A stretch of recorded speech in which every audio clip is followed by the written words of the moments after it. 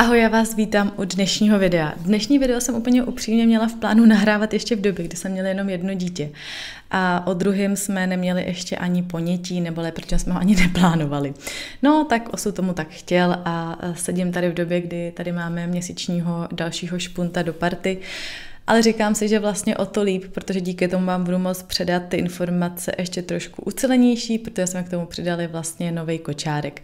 Abych to uh, na úvod teda vysvětlila, dnešní video je taková recenze nebo takový průřez vlastně kočárkama, který využíváme.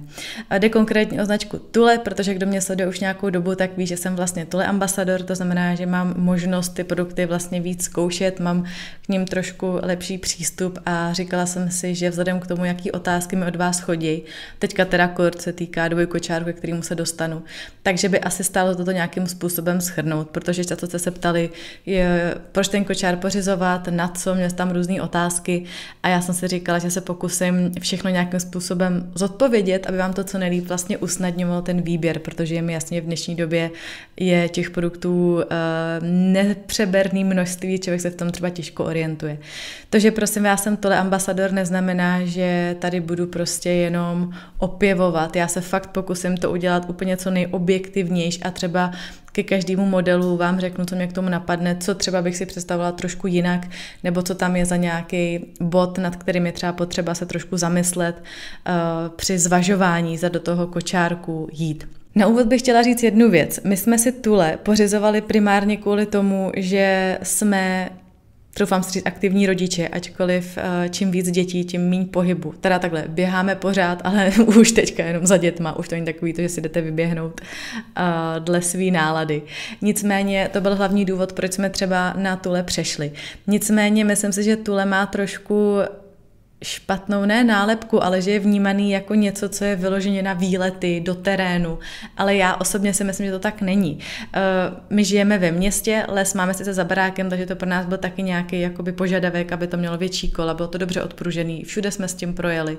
Ale přece jenom v tom městě a v Praze, jako co se budeme nalhávat, to je rozhodně všechno, jenom ne hladký, rovný terén. Máte všude kostky, eh, máte všude různé přejezdy, nerovnosti, takže musím říct, že i do toho města to fakt hodnotím jako něco, co se vyplatí mít a rozhodně to nebude jenom kočár, který je do přírody a na výlety. Já tady se pokusím udělat nějaký jako teda průřez kočárama, který máme, říct vám, proč jsme je pořizovali, jaký jsou jeho výhody, nevýhody a trošku vám tady i ukázat v rámci mých ilustrativních videí, eh, jak se to třeba skládá, jak to funguje a podobně, protože na to jsou taky častý dotazy, jak to vlastně přehazujeme, ale k tomu se všemu dostanu. My jsme začínali kočárkem, ale řečeno vozíkem, který se jmenuje Tule Chariot Light. Je to uh, takový ten vozík, který je ideální na běžky, což teda byl náš hlavní požadavek, protože běžky milujeme a chtěli jsme Elenku, vlastně ještě naše první dítě, nějak zapojit. Myslím si, že tady hodně záleží i třeba na tom, jak jste zdatný v tom skateování, že vás to vlastně svým způsobem může lehce stáhnout dozadu, pokud tu techniku nemáte třeba úplně ideální pro Martina. On to má jako trénink, že si to fakt jako zapřáhne a jede, ale pokud jezdíte klasiku, tak o tom víceméně ani nevíte.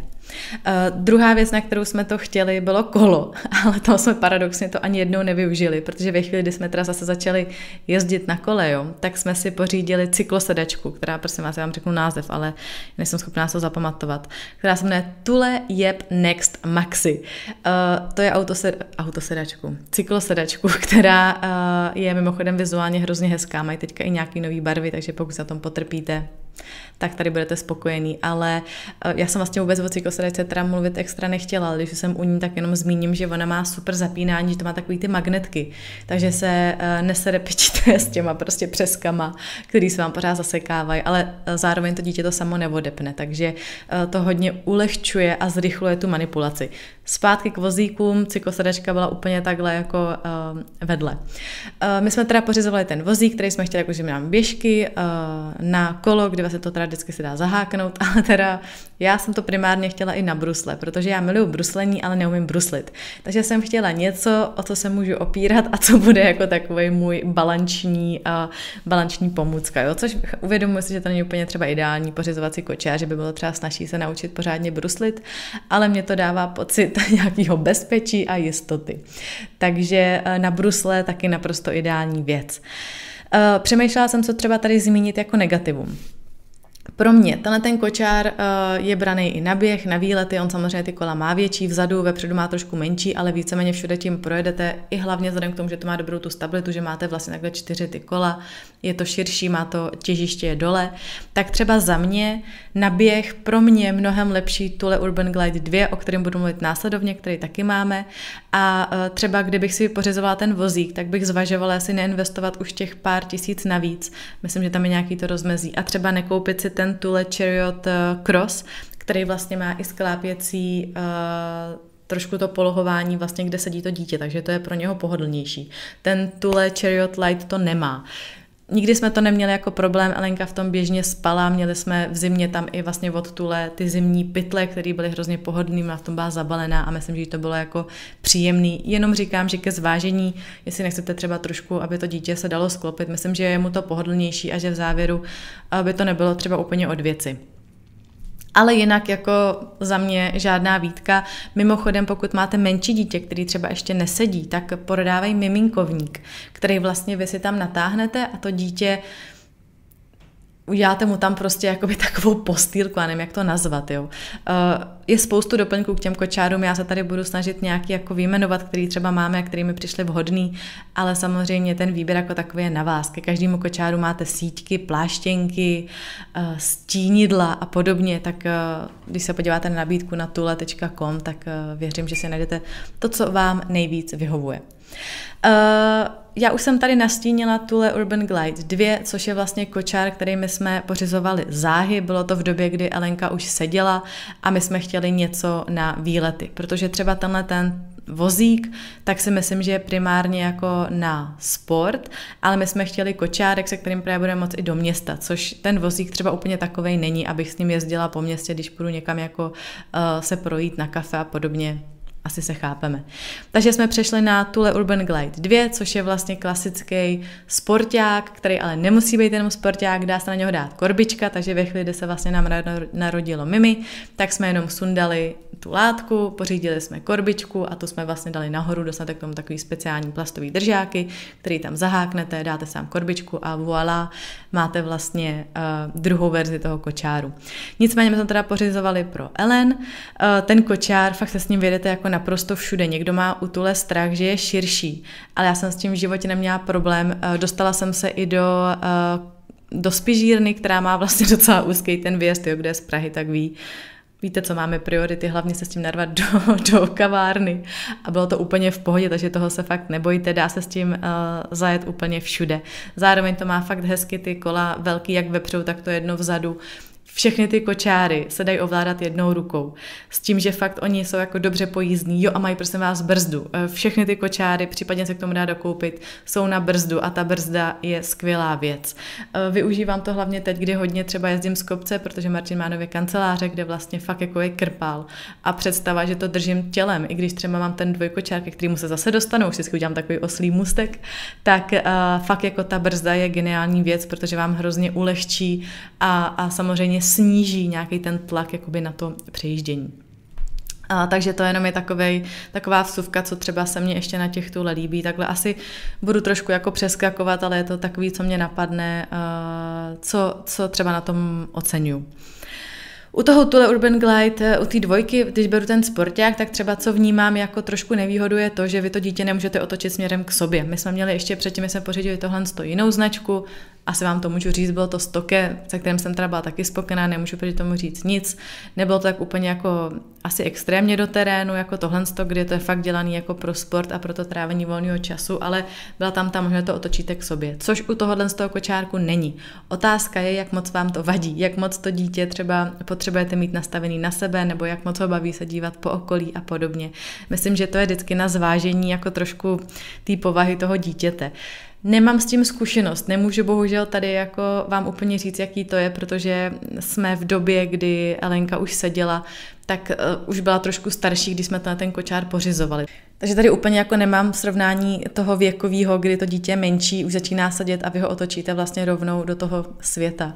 Ale věřím, že jako to není vůbec asi žádný problém. Ale zase říkám, eh, jsou to věci, které zmiňuji, aby se si třeba zvážili, aby pak jste nebyli z toho překvapený. Druhá věc, na kterou se mě, uh, myslím, že bylo pár otázek, se týkala toho, jestli mi nevadí, jestli tam nedají nadzvednout nožičky. To znamená, že to dítě, když spí, vy mu sklopíte vlastně ty záda, které jdou dát fakt jakoby až dolů, takže ty nožky nemá, nemá v rovině. Nemá, ale je spoustu uh, firem, lidí, který vyrábějí doplňky ke kočárkům, které nejsou se přímo od tule a dá se to najít, takže já jsem kupovala takový podnožník, který vy tam vlastně přiděláte, který je dělaný přímo na tule, akorát teda není od tule dáte tam takovou uh, zarážku a vlastně si vytvoříte takový prodloužení, takže to dítě pak ty nohy rovně má. Je to prostě jenom o tom trošku hledat, ty doplňky se najít dají.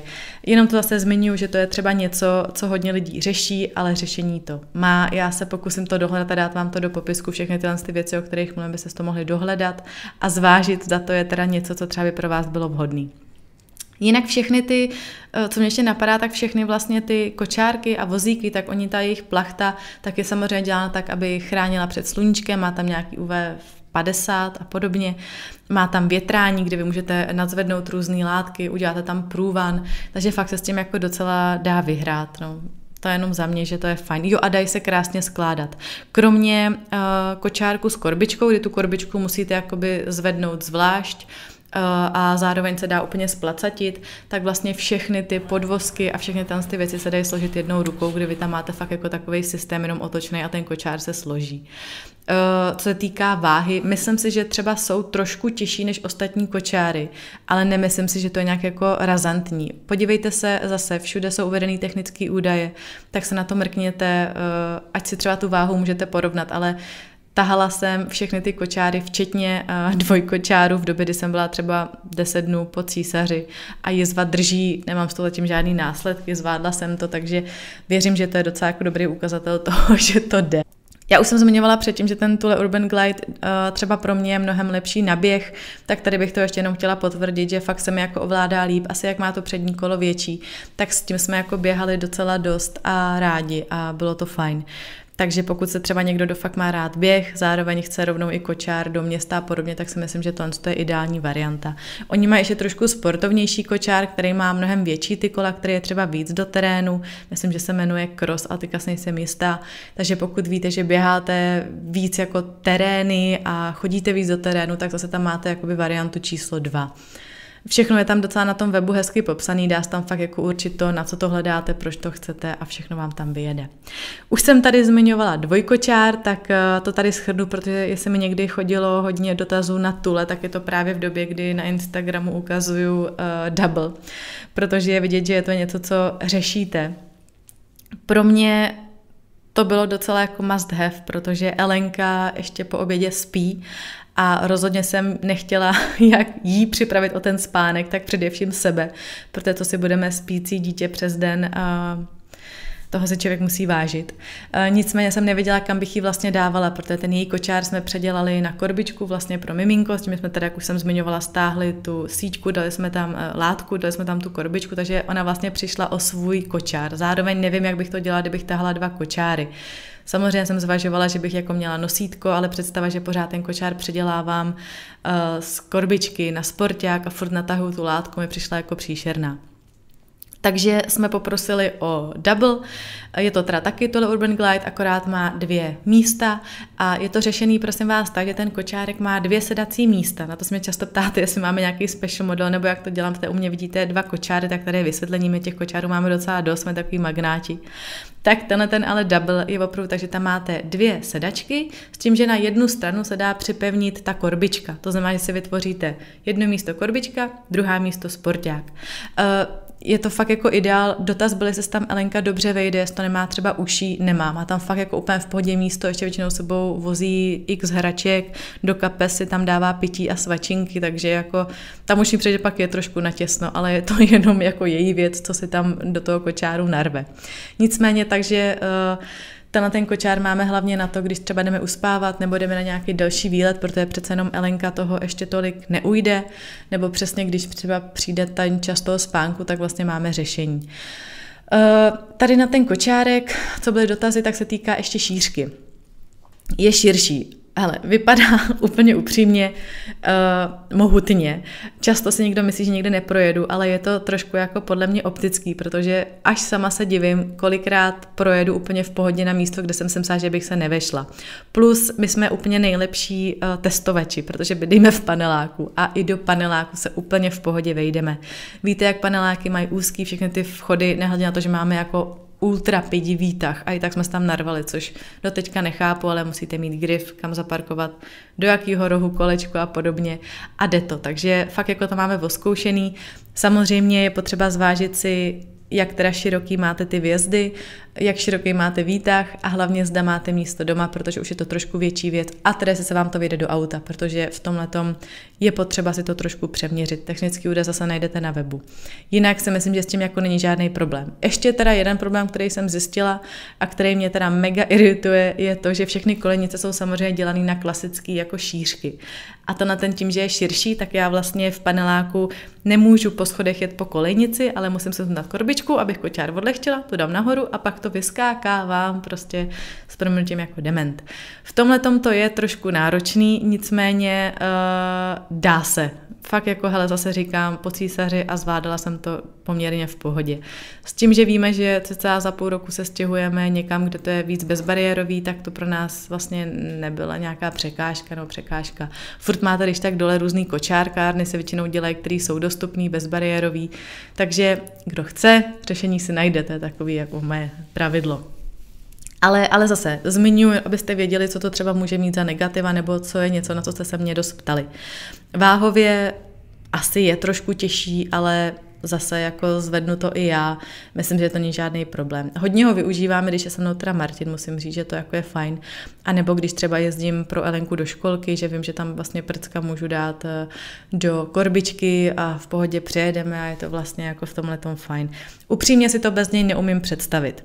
Nicméně i tak eh, plánujeme kočár číslo 3, když nepočítám vozík, a to je Tule Shine, který je vlastně novinka. Myslím si, že je na trhu třeba od června a je to klasický městský kočár.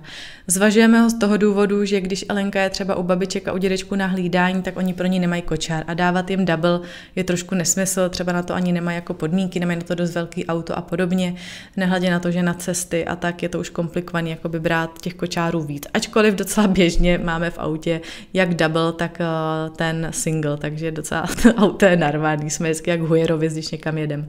Ale tenhle ten Tule Shine je si myslím docela ideální řešení i třeba na to, když Elenku budu chtít jít odpoledne uspat, tak ji vlastně dám jenom do tohle kočáru, Berťa se vezmu do nosítka a na těch 10 minut, než ona usne, tak si vlastně udělám kolečko a pak ji v pohodě vytáhnu přes ty kolejnice, bez toho, než bych u toho trpěla. Uh, ten kočárek uh, má už menší ty kolečka, je fakt městský, takže si myslím, že je třeba super na cestování, na tyhle, jako když přesně potřebujete do města něco lehkého. Takže si myslím, že je přesně na to, když potřebujete do města něco lehkého, co se vám snadno složí, je to, nezabírá to moc místa, klasický prostě městský kočárek. Uh, no, tak jako kočáru. Doufám, že i nějaká ta moje vizualizace a co jsem vám tady ukázala, uh, jak se všechno skládá a podobně vám pomohla v rozhodování. Kdyby vás k tomu cokoliv napadlo, k těm kočárkům, dejte mi vědět, já to fakt eh, ráda vám zodpovím, klidně udělám nějaký post na Instagramu, kde třeba se o tom ještě můžeme víc pobavit, ale snažila jsem se nějak schrnout uh, ty vaše otázky, které třeba se opakují a trošku vám ukázat, jak teda tyhle ty kočárky fungují a třeba proč my jsme si je zvolili. Nicméně uh, snažila jsem se teda vyzvihnout jak pozitivní, tak třeba negativní stránky nebo věci, nad kterými si myslím, že je fajn se zamyslet, které by vás třeba mohly překvapit, ačkoliv já osobně úplně jako nějak extra negativně nevnímám, ale zase si myslím, že je fér jako říct to prostě komplet. Jinak od Tule my nemáme jenom kočárky a, a vozík, ale máme i kufry, na který fakt jako nedáme dopustit. Máme přebalovací tašku, máme různý doplňky, ať je to třeba stoleček ke kočárku, který jsme využívali dost, do kterého se dá dát pitíčko a svačinka. Pro mě zase máme takový ten organizér, kam si dáte to kafíčko, eh, klíče nebo takové ty drobnosti a je to fakt jako super praktický. Když jsme u toho, jo, tady mám třeba i pouzdro na elektroniku. Kam si takhle dáte, co potřebujete, no. Prostě Tule je opravdu můj love brand a říkám to úplně upřímně, jsem za to nesmírně vděčná, že máme tu, tu možnost, protože já bych je pořizovala i tak a to si myslím, že je u spolupráce vždycky důležitý říci, že i kdybyste tu spolupráci neměli, tak byste do toho investovali, i tak byste si je pořídili. Tak to je asi vše. Doufám, že vám to nějak pomohlo. Dejte vědět, eh, pokud se pro ně rozhodnete. Eh, jsem zvědavá, kolik tady bude tule nadšenců. Musím říct, že jsem ráda, že čím dál tím víc titule vlastně ve městě vnímám, což mi vlastně potvrdila i Verča z marketingu, že opravdu jako tule se v Čechách daří, že lidi si tomu přišli na chuť a že to využívají v hojném množství a já to vlastně naprosto chápu, protože je to takový univerzál město versus příroda a sport, že to se jinak nedá. Tak jo, tak uh, hashtag pro tule Bring Your Kids, myslím, že to uh, mluví za vše. Dejte vědět, kdyby cokoliv a děkuji za pozornost. Mějte se hezky, sportu zdar.